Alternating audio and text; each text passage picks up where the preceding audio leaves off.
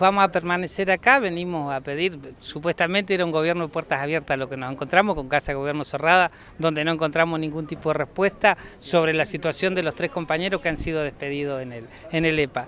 Una situación sabemos que tiene que ver con represalias por parte de quien administra y quien preside el EPA hoy, Mauro Millán, y venimos a buscar esa respuesta. Acá no hay ningún funcionario este, que con abultado sueldo que se han creado en este momento, pero que nos reciba.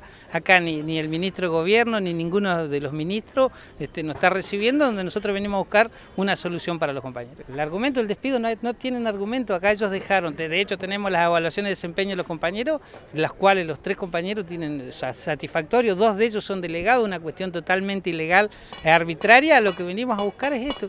Venimos a buscar al gobernador que pasó toda la campaña y desde que asumió diciendo que es un gobierno que dialoga. Acá lo que no encontramos es diálogo, lo que encontramos es policía, lo que encontramos es represión, es lo único que encontramos hasta ahora. ¿Hubo tensión cuando intentaron ingresar? Sí, hubo, habían demorado dos compañeras, bueno, las cuales pudimos recuperarla a estas dos trabajadoras que están manifestándose. Acá la única solución que plantea por parte del gobierno de Gutiérrez parece que es la policía, es la fuerza de represión y no la solución para los trabajadores. ¿Se van a mantener acá? Nos vamos a mantener acá y será así el gobierno de Gutiérrez, será a partir de ahora, este, esta es la situación que va a vivir Neuquén realmente para esta situación de que se está atravesando en el día de hoy, bueno, que tengan en claro que, que Neuquén va a ser así. ¿Estos trabajadores hace mucho que estaban en el organismo? Sí, estos trabajadores ya tenían un periodo dentro del organismo, de hecho, a ver, son tres lugares de la planta funcional que tienen que ser ocupados.